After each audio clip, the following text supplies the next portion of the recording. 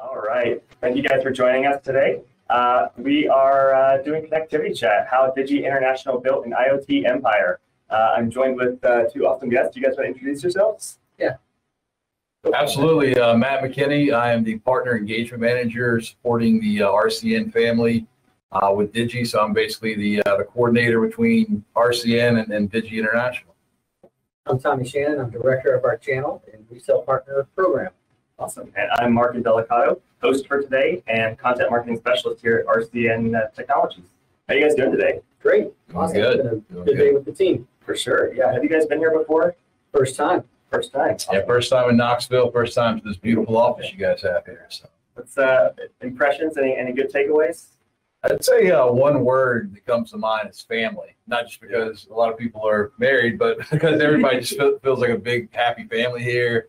You know, even at lunch today, you know, we had an opportunity to, to break bread with the team, and it really had a family feel. Everybody sat together. It wasn't it wasn't cliquey. Everybody was like friends and friendly and very welcoming, and uh, just exuded that that southern hospitality. So, really, really great atmosphere you guys have built here. I agree. And, and, and also what struck me is um, how progressive the company is with their approach and being on the leading edge, right? So we're all in IoT, we're all in the technology group. Um, and sometimes you can get staid in that, right? And just go with what's working.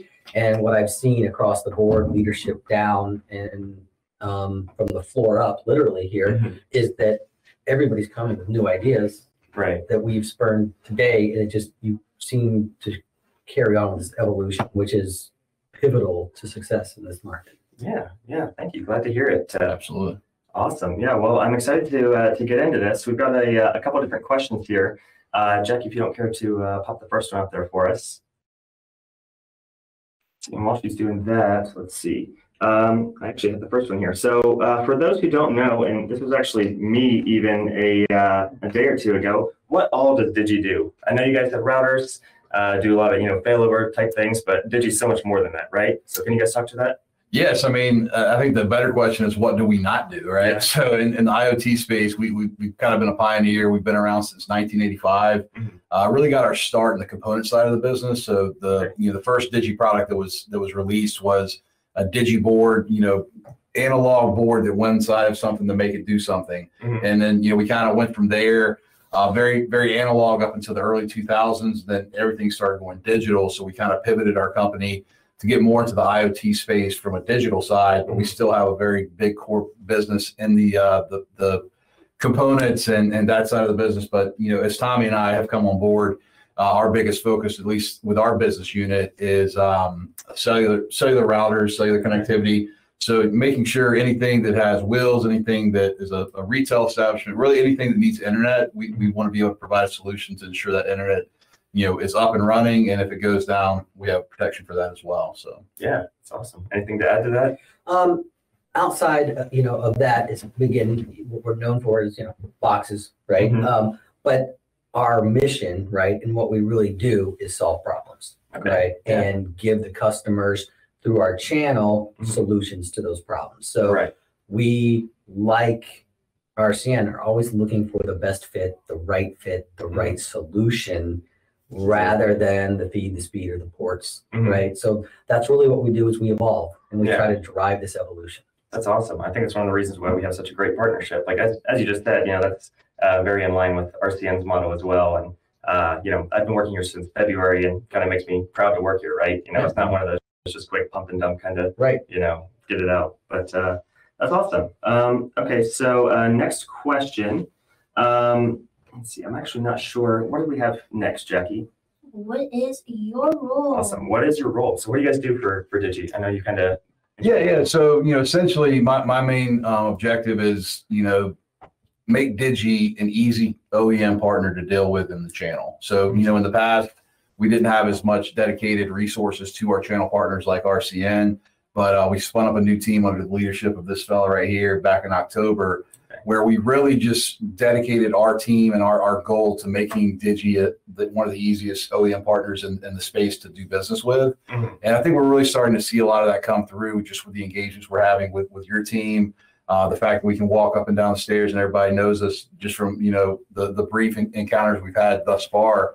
But you know, really, I think that's, that's my main goal is, and, and role, if you will, is to be that conduit between RCN and Digi to ensure, you know, the, the sales team, the technical teams, every, everybody within the organization of RCN knows how to and feels confident in procuring Digi hardware, where it be from, you know, a, a hardware standpoint, a services standpoint, or really just a technical aspect. There's a lot of times we'll jump on a call where, you know, maybe we're not the best fit, but we still want to support you as a partner, Right. even if we're not the best fit. But hopefully we're, we're the best fit most times. But um, you know, if we're not, we'll, we'll tell you that. But my role is to kind of help align those stars as it relates to the relationship with RCN and Digi and, and whatever this guy tells me to do.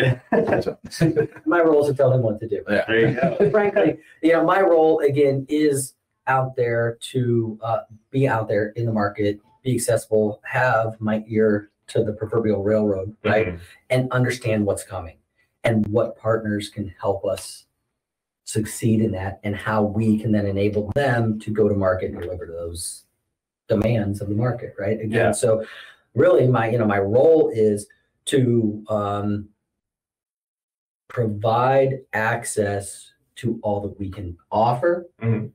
in a way that the partner can maximize end results for their end customer, right? So Yeah. you can do more with what you need to do. Right. So if you need to know what's going on, you're the one that, that you go to. Yeah, I mean, essentially, right? Yeah. My team, but Mhm. building that team and then making sure that Digi again is in tune with the market so Right. that we're ahead of the game a bit rather than being reactive. Okay. Some Awesome. would say expect more. Yeah. Just just something I've heard a few times today. But yeah, definitely. Definitely. Oh, that's awesome. Um, so this one, I'm actually, I want to get your uh, answer first. So what are your thoughts or predictions for 5G? Um, obviously being an IoT company, having, you know, so many different areas that you guys uh, touch um, and having, you know, your ear to the ground, what, uh, what's IT or 5G looking like for IoT? Um, so this is a very nebulous question, Yeah, right? And it's the question of the day, right? So I'm, I'm, I've made some notes. That's okay. Yeah, So I want to talk about really like, I see and Digi approaches it that 5G is really, if you've been in this IoT space, and you've been in the connectivity space, there's never, it's not a destination, Yeah. right? Mhm. It's a journey. Yeah. So wi- I started when it was um, analog. Right. I thought it was smoke signals from, Yeah, from the well, whole. smoke signals, we go way back.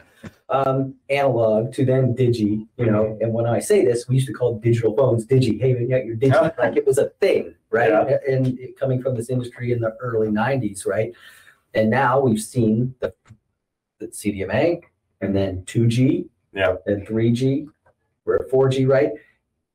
We just retired 2G, so think about this, right? And now we're on our third sunset hmm of 3G. Right. Still can't get this thing off the planet, right? hmm So 5G is just that next iteration, Right. right? So again, it's a path, right? So what we're looking into that is how do we address that? How Right. do we ready our customers for that? How do we, in, again, engage and enable and set the right expectations? Because with this new technology, what is the application? Right. You know what I mean? It's not, this isn't an Instagram race to have the new Nikes, right? It, it, Yeah. it's, it's not that. And if you're approaching it that way and it's the greatest and latest, so I need it, hmm you're either going to be sorely disappointed, your CFO is going to be disappointed because Right. it's an investment. And if you don't have a strategy of how to transition, you're not going to find the value on it Right. you want, right? So again, you want the right partner, hmm with the right OEM supplier to help you walk through that journey because there'll be another thing. Yeah. So we have to make sure that we're doing our due diligence to understand what the start, middle, end, and or next evolution of that journey is. So Right. That's that's what I'll say. And Okay. again, we can talk feeds and speeds and all that, but I think, Mhm. frankly, I think it's premature. We Right. need to understand as a triumvirate or a bigger group of what is the need, what is the use case, what is the budget, hmm and then how do we address it over that time? Right. And I think Digi's in a unique, unique, unique space in that we have the ability to help that customer uh, future-proof themselves so they can have access to 5G when 5G becomes more readily available. Because you know, 5G is a big buzzword. There's a lot of investment in 5G, but the network is just it's not quite there yet from a widespread um, perspective. But something that's unique about Digi is uh, we we take a core module approach where we have uh, plug-in modules. So let's say a customer you know has their their eyes set on 5G, but maybe it's not available in, in mass where they where they have their deployments. Well, we could set them up with something that's current today, you know, 4G LTE device. But the great thing about a lot of the Digi devices, it, it accepts that core plug-in module. So Right. you know, a year down the road, two years down the road, when 5G is a lot more relevant, prevalent out in the market, and the cost comes down, because that's the other big part, right? Mhm. Cost is a big part of 5G.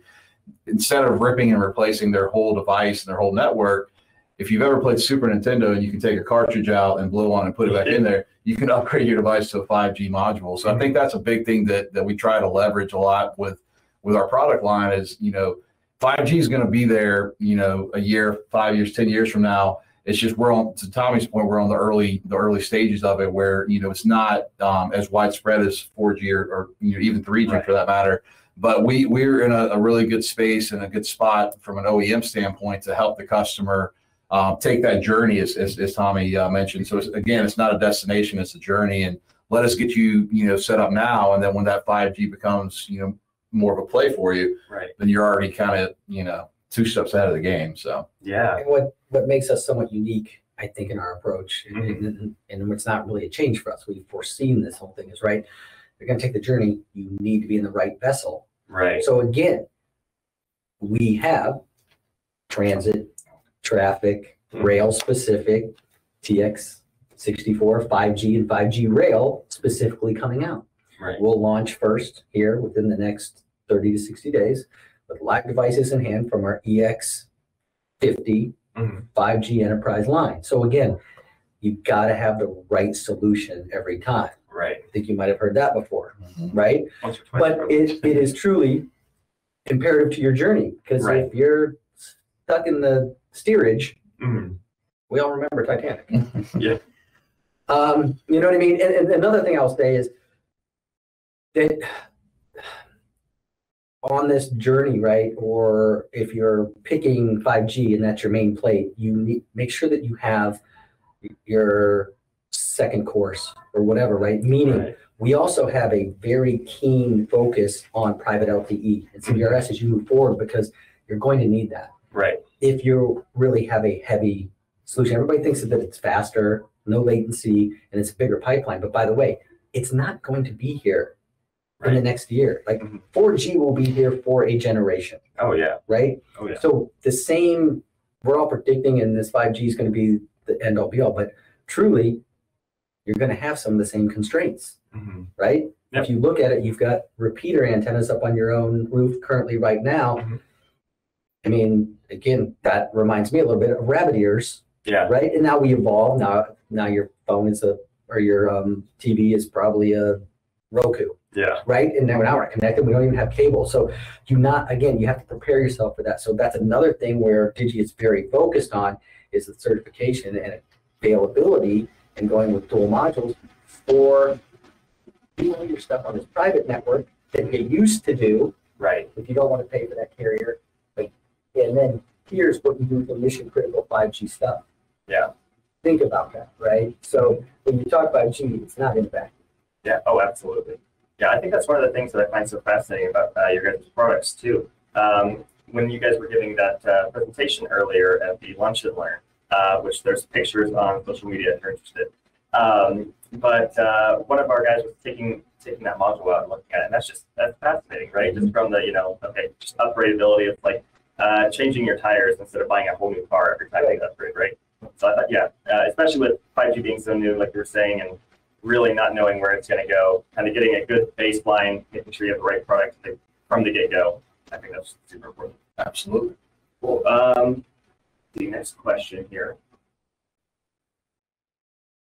Uh, oh, what's your favorite Digi product? Uh, I'll say it easy. Digi remote manager. Okay. So, um, again, it, it kind of is the glue that makes it all come together, right? If, if we're selling on price, if we're selling on feeds and speeds, right? Yeah. There's, it, it, it doesn't really relate to the customer's why Mhm. and what the value is. Yeah. right? So what you need to do is the control, the management, the access, the data that you can either take from or provide to your customers to again maximize your go-to-market, your services, right, and or theirs. Right. So, you know, the fact that it's on the digi side, it's optional, you can add it. We have one, three, five-year, you know, um, service models, right? And, and it allows us to go from those of us who've been in the market for a long time, and it was typical, like you're getting a little kick from the carrier, Right. and you're hoping you're getting some margin. Well, now I can arm you with your manager to have your own managed network, with your own software as a service platform with reoccurring revenue, but more importantly, you get deeper and wider within that customer. So for me, again, I go into all of these customer or partner engagements somewhat as a toddler, right? And Yeah. I'll have to go in there and ask, why?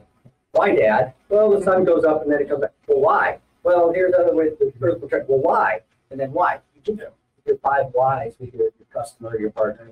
And then you turn into that insolent teenager and you say, well, who cares? Yeah. Right? Like, who cares? But I don't mean it that way. I mean, like, who cares in your organization? Right. It's probably not the IT person you're talking to. They don't probably have any budget. The guy or lady or whoever that has the budget is the one who cares. Right. And what they want out of you isn't fees and speeds. It's safety, security, reliability, Yep. repeatable performance of my network for these reasons, for these customers of mine. Mhm. So if you can deliver that, it doesn't matter what box is on the end. And that's why I think for us, Network Managers and our service platform is my favorite product. I'd have to agree with Tommy. I mean, I think it really is the workhorse behind all of our products. I think, you know, a lot of folks will say a router is a router is a router is a router. And I mean, I think that's been used a lot, but at the end of the day, it really is, you know, the engine, the, you know, the, the box is the Ferrari, but the engine's the DRM, Digi remote manager behind it. But I would say device specific, I would, I would probably lean towards the uh, TX64, just because not only is it a world-class, you know, amazing device, but if you're walking down a dark alley and, and somebody tries to jump you, it's also very heavy. You can use it as a weapon. So uh, think that's that's probably my favorite. I will part. say I saw that on the Or an fact sheet. Yeah, yeah, yeah, yeah. yeah. Exactly. Well, due, due to liability reasons, we can't actually put that, but Yeah. wink, wink, you can throw it at somebody and it'll hurt them. And So also, Matt's not kidding when he said he has to agree with yeah, yeah, yeah. Contractually, I have to. Yeah, I'll be, I'll be honest, I don't know a ton about the, uh, the remote manager. I need to read up on it some more, but, Mhm. uh, I'm a data nerd for sure, so Yeah. I, I you, Oh, we- that's, that's top tier. We can data dump a bunch of stuff around and keep you busy for weeks. But Yeah. um, I mean, are we jump on calls with you, your partners, you know, the, the RCN team to, to do more deep deep dive as well. So again, we're here as a resource to help you guys um, be a better app ambassador and advocate for, for Digi to your partners. So yeah, Awesome. Um, so let's see, before, well, go ahead and actually do that one. Uh, what can you guys tell me about the ISS project? So it, it, it was a project that happened back in 2015, and we uh, it was a partner of ours that did robotics. And um, really, as far as the the particulars around it, um, I don't really know as high level as I probably should on that project. But what Classified, I'm yeah, it's, Yeah. it's highly classified, and, and I- I'd probably get in trouble if I told too much. But what I can say is Digi works in space, and Digi was in space before Jeff Bezos and Elon Musk and who's the other fellow? Uh, Richard Branson. Richard Branson. Yeah, so we were in space before all these billionaires. So there's got to be something to that. But yeah, I mean, when you look at the the environment of space, what gets more harsh than you know zero gravity and, and Right. space? You know, Yeah. like there's I I think just that, that speaks volumes to just our our R and D and just the the purpose built devices that Digi has that we can work not only in in regular gravity on Earth, but we can work in zero gravity in space. Not that that's a big part of our business, but Yeah. you know, it, it's something that we've It been will able to be. improve. Uh, Yeah. which Yeah, with Bezos, Yep. which what's interesting, you know, it said we have to take all this dirty, polluting, Mhm. um, manufacturing, right, in, in industry. What I thought he was gonna say is, you know, find a better way to do it, but what he said is, and put it in space. Right. Right. So, again, it will be there, but in this project in particular, it was truly, you know, robotics, right? So, and, and it was testing, it was on the International Space Station, right? So the ISS is the International Space Station, right? So I'm from Columbus, right? John Glenn, we are the John Glenn, right? The first in space, truly, right? Uh, in, in this OEM business that, that I'm aware of. Right. right? I haven't seen it, you know, anywhere else. And we've continued and have been back to space, right? So again, it's not really about what device was that and what to did. It's the fact that there was a need, right? And we were able to collect data. We were able to enforce and enhance safety protocol where we have humans living outside of our atmosphere, right? Right. So it's that's what I love most about our job and our industry Mhm. is coming into and learning about and actually helping to evolve. I'll go back to that evolution, right? Right. Um, everything we're doing here on this planet, and we are truly a global. And now, you know, Intergalactic. intergalactic. oh yeah, Right. Yeah. Um, you know, and it, it really is fascinating. Two points on that I want to hit on real quick. Number one, it's not just going to be moving, um, you know, trash and, and things like that into space. Uh, literally, people paid for their seats, so that's already space tourism. Already happened. That's, that's a thing now. Um, and secondly, um, how you were saying it was a, a purpose-built job, right? Uh, could you guys talk to that a little bit more? Uh, I thought it was really fascinating when you were talking about some of the uh, the solutions earlier that uh, were purpose-built for, for what we're. Yeah, I'll, I'll take that, and, and Tommy can probably uh, add some more color if he needs to. But so Digi, you know, back to kind of the evolution of us being a pioneer in the IoT space. Digi was created as an engineering company built for engineers. So Right. you know, we, we built very technical things and, and sold them to very technical people, and we've evolved from that. So I think um, when I say purpose built, it, it, it, we have a lot of SKUs because we, we do a lot of very specific things for our customers that require very specific, um, you know, projects. So I think when we say purpose built, like if, if you come to Digi with, with a, you know, request or requirement for a specific project, chances are we already have something that we've built that's going to be custom built for that. Or if not, guess what? We have uh, a whole team of engineers, um, web design services that you can actually, you know, it's, it's a service we offer if you're trying to build something yourself, um, where we can purpose build something specifically for you if we don't already have something off the shelf. Right. yeah. So, through our wireless design services and again our professional services and frankly just our cadre of sales engineers, right? Digi will always ask, are you gonna build or are you gonna buy? Mhm. Right? And and again, in the OEM space, from the component space, that you would come into that a lot, right? So, but we can help from a budgeting standpoint, from a time standpoint, from a certification standpoint. Again, do you, are you building something you want to take to market? Right. right? We can help. We can help do that. Or do you just want to go to market or need a solution as an end customer for what we have on the shelf? But again, to the point of purpose built in our enterprise devices, our enterprise devices are truly enterprise. They're made to look. They come with remote mounting kits so mm-hmm. that you can find the best coverage within your building, right? Right. In the early days, there was a lot, I worked with a carrier, a mm-hmm. big red carrier, right? And we were selling some continuity, Right. but those boxes always went in the data closet where there's no cellular coverage and the customer not never got what they paid for. Right. So, Accelerated Concepts that was purchased by Digi, in that acquisition, that that company came over, right? They go to market with a remote mounting kit right in the box and a battery pack to walk around with your router to test where you get the best coverage. Now we have it PoE activated. So now I can find it, right? And I always say a router's like a plant. If they can get towards some light, it's going to do great, Yeah. right? Because that's where the coverage is. So purposely, we built this aspect into this device. So now you get what you paid for. Right. You're not calling your partner back. RCN's not saying, oh, sorry, didn't know. Oh, it's Verizon's fault. Who am I going to call? Like Ghostbusters, who am I gonna- right? We, we avoid that, right? Yeah. And again, we're not going to take an industrial router, put it into that enterprise space. Right. Now, we need failover, or what we would normally call, you know, continuity, um, in a harsh environment. We're gonna say, hey, different specs here, now the spec matters because I need it to be temperature, Right. or I need it to be ruggedized.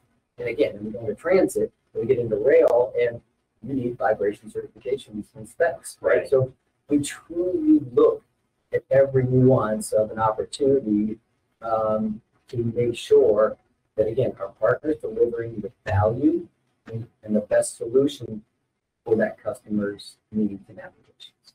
So again, might equal a lot of SKUs, but allows you to customize. Oh, yeah. pick the one you need. And I think too many times you kind of get, um, just the quick lip service of, oh yeah, we do that. And then it's like, isn't that the one that you sold me and I put it in the truck? And now the one you're telling me to put under my counter for my POS system? Right.